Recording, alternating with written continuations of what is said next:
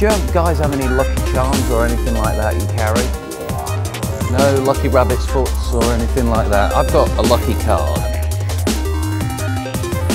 Uh, if you take the nine yourself, slide it in about halfway, but face up. It changes.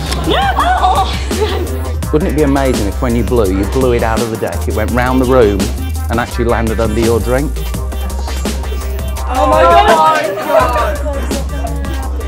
You know the uh, lucky card? Remember I said to you that I had a lucky lucky card? And so this is my lucky card. Yeah. Now what was the value of your card? What was the value of your card? It was a Jack. It was a. A jack. If- Yeah. If, this was another jack inside here, would that be good?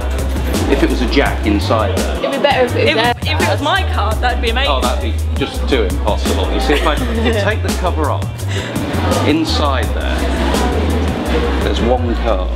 Unfold it yourself. No way. No. That's impossible.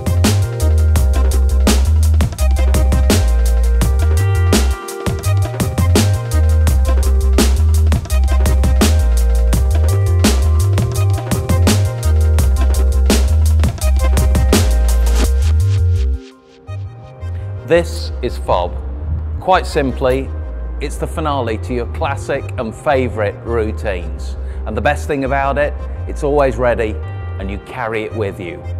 You explain to the spectators that you've got a lucky card that you keep with you always.